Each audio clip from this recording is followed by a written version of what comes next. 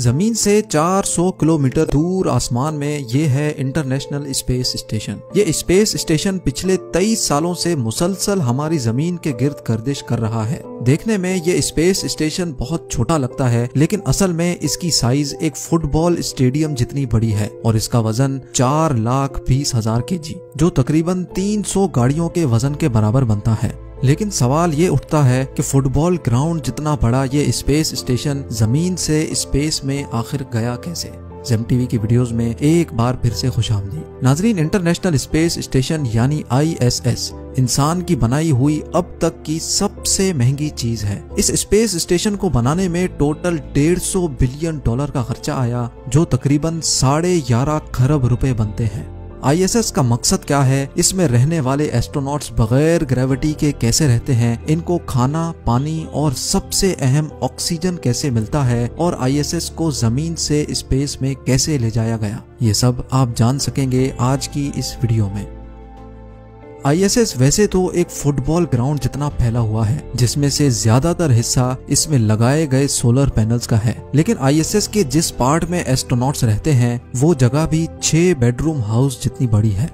International space station हमारी दुनिया के गिर्द मुसलसल 27,500 किलोमीटर पर आवर की स्पीड से गर्दिश कर रहा है। ये स्पीड इतनी ज़्यादा है कि आईएसएस 24 घंटों में पूरे 16 मरतबा दुनिया का गोल चक्कर लगा लेता है। लेकिन मजाल है कि पिछले 23 सालों में एक भी मरतबा ये अपने ऑर्बिट से भटक गया हो।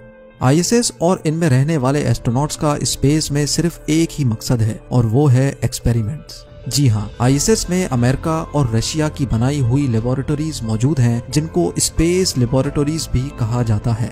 इन लेबोरेटरीज में एस्ट्रोनॉट्स ज़मीन से लाई हुई मुख्तलिफ़ चीज़ों पर एक्सपेरिमेंट्स करते हैं और देखते हैं कि इनका स्पेस में कैसा रिएक्शन होता है। साथ साथ ज़मीन पर आने वाली कुदरती आफतों को आईएसएस की मदद से ही प्रिडिक्ट करके काफ़ी नुकसान से बचा जा सकता है। और तो और, इंसान का अर्थ के अलावा मार्स जैसे प्लेनेट पर रहना कैसे मुमकिन हो सकेगा, इस हवाले से भी कई एक्सपेरिमेंट्स और रिसर्च आईएसएस की मदद से की जा रही है।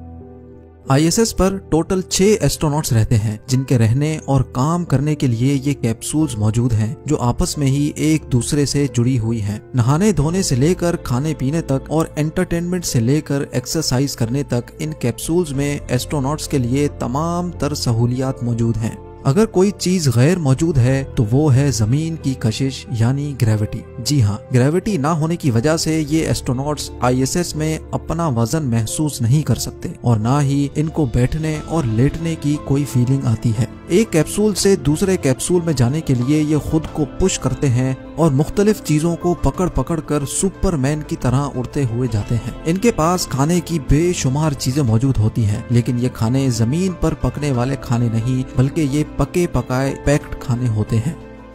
हम जो जो काम रोज़ाना ज़मीन पर करते हैं, वो सारे काम स्पेस में ग्रेविटी ना होने की वजह से बिल्कुल मुख्तलिफ़ अंदाज में किए जाते हैं। जैसा कि पानी पीना, दांतों को ब्रश करना वॉशरूम इस्तेमाल करना और एक्सरसाइज करना। क्योंकि स्पेस में एस्ट्रोनॉट्स बहुत लेजी और सुस्त भी हो जाते हैं, इसलिए इनके पास खास किस्म की एक्सरसाइज मशीन भी होती हैं, जिस पर रोज़ाना दो घंटे एक्सरसाइज करना इनके लिए लाजिम होता है। इसी तरह स्पेस में एस्ट्रोनॉट्स नहाते तो ज़रूर हैं, लेकिन बगैर पानी के। जी हाँ इनके पास खास किस्म के शैम्पू और सोप होते हैं, जिनको जिसम पर लगाने के लिए पानी की ज़रूरत नहीं होती। सिर्फ़ ड्राई टावल से शैम्पू या सोप को पहुँच लिया जाता है।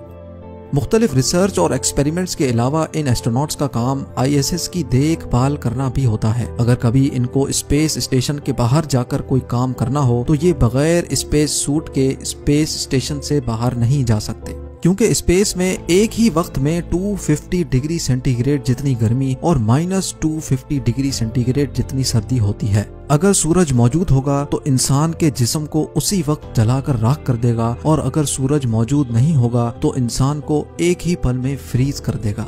इसीलिए ये स्पेस सूट बनाया गया था, जिसमें ऑक्सीजन प्रेशर और गर्मी सर्दी के बचाव का मैकेनिज्म मौजूद होता है। एस्ट्रोनॉट्स के सोने के लिए आईएसएस में ही छोटे छोटे कैबिन मौजूद होते हैं, जहाँ वो स्लीपिंग बैग में खुद को बंद करके आराम से सो सकते हैं।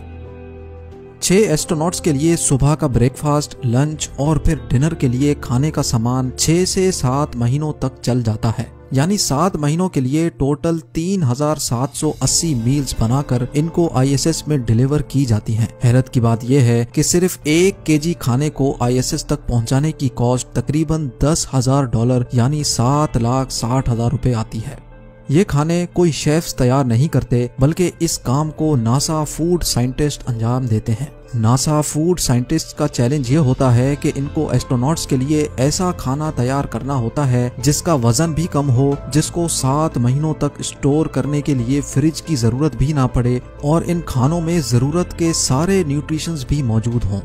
इसके लिए ये फ़ूड साइंटिस्ट खाना पकाने के बाद इनको फ्रीज ड्राइंग टेक्नोलॉजी के ज़रिए फ्रीज करते हैं, जिसकी वजह से इनमें से 97 परसेंट पानी रिमूव हो जाता है और खाने का वेट सिर्फ़ तीन परसेंट रह जाता है। अब इन डिशेस को पैकिंग मशीन के ज़रिए ना सिर्फ़ पैक किया जाता है, बल्कि इसके अंदर से सारी हवा भी निकाल ली जाती है।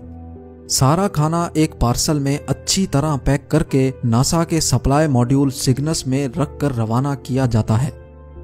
मुसलसल 48 आवर्स के सफ़र के बाद सिग्नस ये खाना लेकर आईएसएस पहुँच जाता है। ये तो हो गई खाने की बात। अब आते हैं पानी के इस्तेमाल पर। आईएसएस पर एस्ट्रोनॉट्स ज़मीन पर रहने वाले इंसानों के मुकाबले में सिर्फ़ वन परसेंट पानी इस्तेमाल करते हैं। जी हाँ आईएसएस में high tech water recycling system मौजूद है, जो आईएसएस में मौजूद वेस्ट वाटर को भी फ़िल्टर करके पीने के काबिल बना देता है। आपको ये बात जानकर हैरानी होगी कि जो पानी एस्ट्रोनॉट्स आईएसएस में पीते हैं, वो होता तो बिल्कुल साफ़ है, लेकिन असल में वो पानी आईएसएस में मौजूद ह्यूमन वेस्ट को रिसाइकल करके वापस साफ़ किया जाता है। यहाँ तक के इनको जो पसीना भी निकलता है, वो भी वाटर रिसाइकलिंग सिस्टम खुद ही सक करके उसको फ़िल्टर करके वापस इस्तेमाल के काबिल बना देता है। इस तरह आईएसएस में पानी के इस्तेमाल को 99 परसेंट सेव किया जाता है। स्पेस में एस्ट्रोनॉट्स सांस लेने के लिए आर्टिफिशियल ऑक्सीजन का इस्तेमाल तो करते हैं, लेकिन ये ऑक्सीजन स्पेस में डिलीवर कैसे किया जाता है? आखिरकार ऑक्सीजन का भी वज़न होता है। हर इंसान एक दिन में 840 ग्राम का ऑक्सीजन इस्तेमाल करता है। यानी स्पेस में छह एस्ट्रोनॉट्स छह महीनों में 1000 केजी का ऑक्सीजन इस्तेमाल करते हैं। ये 1000 केजी ऑक्सीजन इनको ज़मीन से नहीं भेजा जाता, बल्कि आईएसएस में ऑक्सीजन बनाने का भी एक सिस्टम मौजूद है। जी हाँ नासा के मुताबिक स्पेस स्टेशन में इलेक्ट्रोलिसिस के ज़रिए ऑक्सीजन बनाया जाता है। यानी सोलर पैनल्स से मिलने वाली बिजली को पानी से गुजार कर इसमें से ऑक्सीजन तैयार किया जाता है। नाजरीन, इंटरनेशनल स्पेस स्टेशन का टोटल वज़न चार लाख बीस हज़ार के है, जो पिछले 21 सालों से कभी भी खाली नहीं रहा। फुटबॉल फ़ील्ड जितना बड़ा ये स्पेस स्टेशन मुख्तलिफ़ मॉड्यूल्स को जोड़ जोड़ कर बनाया गया था।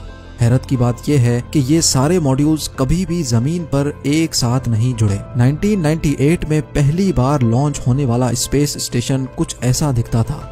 लेकिन वक्त के साथ साथ इसमें नए मॉड्यूल्स ऐड होते गए और आखिरकार तेरह सालों की मेहनत के बाद, यानी 2011 में आईएसएस अपनी फाइनल शेप में आ गया। अब जानते हैं इंटरनेशनल स्पेस स्टेशन के बारे में चंद amazing facts international space station solar panels के ज़रिए एक दिन में 120 किलोवाट बिजली प्रोड्यूस करता है। ये इतनी ज़्यादा बिजली है जितनी 40 घरों में इस्तेमाल होती है।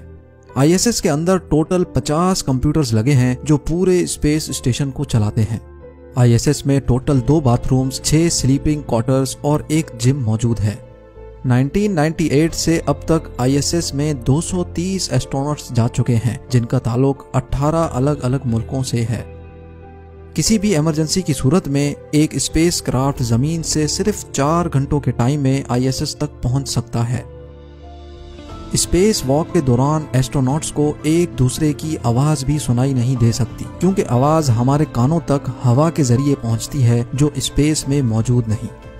चाँद के बाद आसमान पर दूसरी सबसे ज़्यादा चमकने वाली चीज़ इंटरनेशनल स्पेस स्टेशन है, जिसको ज़मीन से देखने के लिए टेलीस्कोप की भी ज़रूरत नहीं।